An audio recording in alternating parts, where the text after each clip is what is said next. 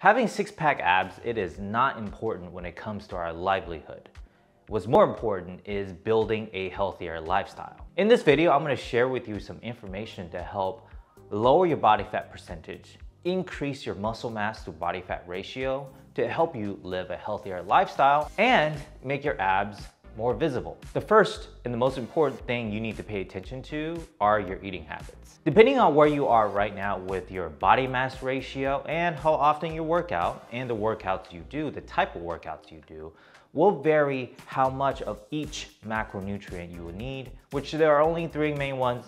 Well, there's a fourth, alcohol, but it's not essential to life. Here's a general guideline that will work for most people. In general, try to avoid added sugars in any of your foods. You also want to eat more wholesome, so less processed foods. Now on days that you are doing some heavy lifting, you want to consume a little bit more carbohydrates. On days that you're working on your cardio, your endurance, you want to consume a little bit more fats, especially if you're doing endurance exercises for a long period of time, like you're gonna go for a two hour bike ride, a 10K run. And on days where you're just taking a break, just kicking it back on your couch, then you wanna consume a little bit more proteins in your diet that can help you stay satiated for longer periods of time. I can tell you right now, when it comes to living a healthier lifestyle that includes getting six pack abs, you need to focus on your eating habits. Even if you don't work out, eat well is more important. Now talking about working out, let's talk about what are some of the exercises,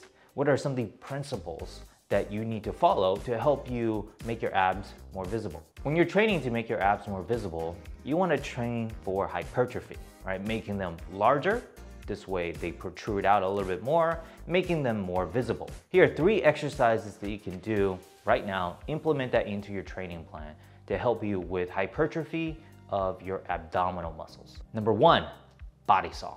You can use different types of equipment. You can use sliders or a suspension system. Number two, a Pallof press to raise. This is gonna help work your obliques. And lastly, the good old ab wheel. These three ab exercises are really good. However, you need to do more than just these three. You wanna focus on training your core. That includes your abs. So you wanna do exercises such as a deadlift, a farmer's carry, squats, hollows, among many of the different exercises that really targets your core. I wanna leave you with this. Something like this, it is not a 30-day transformation.